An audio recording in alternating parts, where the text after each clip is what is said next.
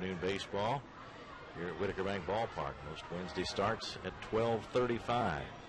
Here's the pitch. Martin is going for third, and Gasparini swings and lifts a high fly ball to deep left field. Bosiokovic is back, and that ball is gone. It's out of here, just over the wall in left center, and Gasparini has put the Legends in front with a two-run homer in the bottom of the first inning.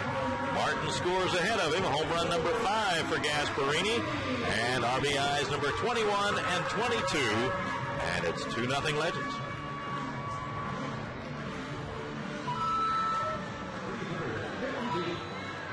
Gasparini just went the other way with that pitch and drove it out here to left field. Bosiokovic got turned around as he was chasing that fly ball, but it didn't matter anyway as that went cleared the fence out there and Gasparini has put the Legends in front.